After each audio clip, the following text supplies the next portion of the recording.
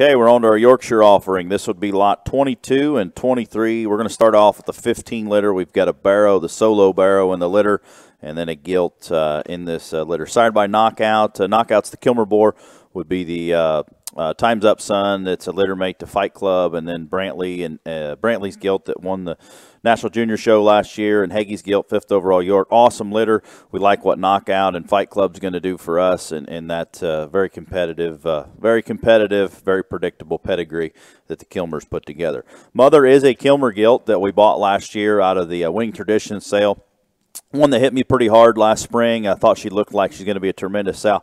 Got a little bit banged up, didn't hit the show ring, but uh, she's a big step, sit tight, and excited about uh, what she's going to do for us in her first litter. She did an incredible job, put quite a few pigs in the sale, uh, so obviously one that's going to bring some quality to the table. We're going to start off with the barrow, the solo barrow. This would be 15 1.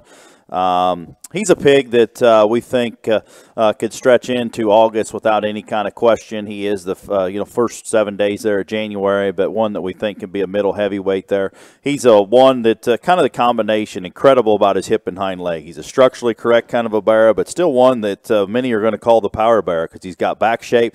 He's got a, a big hip working in him and a, and a, square, useful hind leg. Tail set's awesome. sits up where it needs to be, and still one that can mobile, can get around extremely well, and uh, one that you're not going to have to wait on to get power and muscle. I think he's going to be there. He's going to maintain. He's going to set. He's going to sit right in there to that August middleweight, heavyweight setting and be a very competitive bear at the end of the day.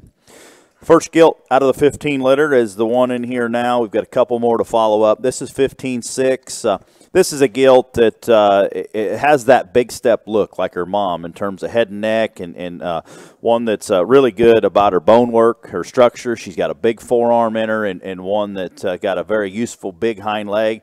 And then uh, we just think kind of the combination of Big Step Fight Club, uh, knockout, whatever you want to do.